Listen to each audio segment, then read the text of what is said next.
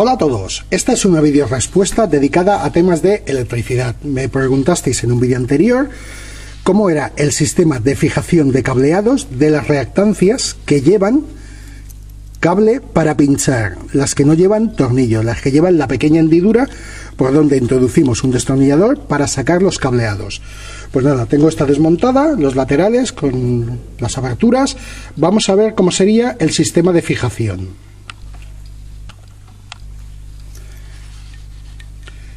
Estas reactancias, el sistema de fijación que lleva es por un cuadrado con uno de sus laterales abierto, que sería este. El lateral abierto lleva una, especie de punta en forma de pequeña C que favorece la entrada del cable.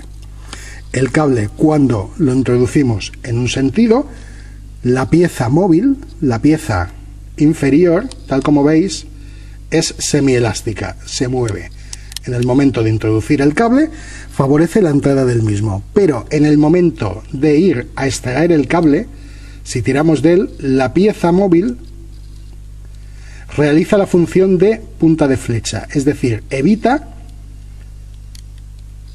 que el cable pueda salir, tal como estamos observando. Para poder sacar el cable lo que tendríamos que es que pinchar por la parte superior, por donde tenemos las aperturas, moveríamos la pieza y podríamos extraer el cableado. Me habéis comentado que aparte de con un destornillador fino, con un clip eh, se puede realizar. Yo no lo he probado, pero bueno, me fío de quien me lo comentó que con el tema del clip podía ser bastante útil. Y tal como veis, en estas eh, reactancias, aparte de una toma en la parte inferior, tenemos una segunda toma al lateral para poder introducir un segundo cable si lo necesitásemos. Por lo tanto, por cada reactancia podemos sacar un puente de cableado, tal como estamos viendo. Extraeremos estos dos. Tenemos tanto la punta de flecha en la parte delantera como en la parte inferior. Tenemos una segunda. Y lo dicho, sacaremos los cableados y vamos a ver una curiosidad del el cable a utilizar. Aquí ya lo tenemos fuera. Movemos la cámara atrás y los tipos de cableados que utilizaremos para estas reactancias es cable rígido, cable unifilar, de los diferentes modelos que hay.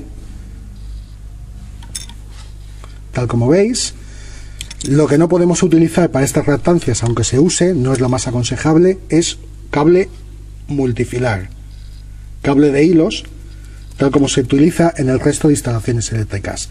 Tendríamos que trenzar el mismo y eh, realmente no realizaría una conexión adecuada. Nos costaría un poco más introducir el cable, por lo tanto no es el más aconsejable.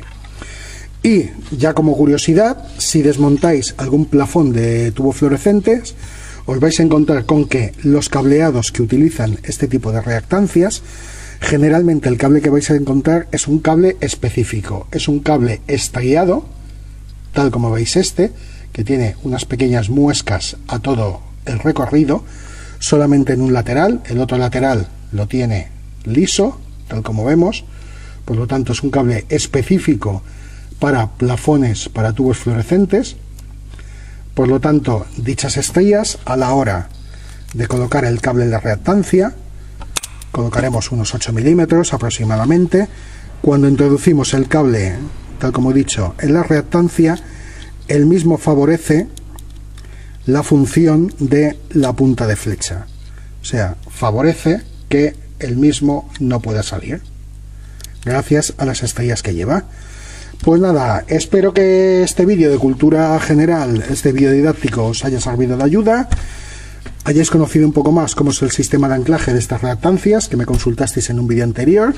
Y como curiosidad que este tipo de reactancias generalmente llevan un cable específico para evitar que pueda salirse del hueco donde el mismo queda insertado.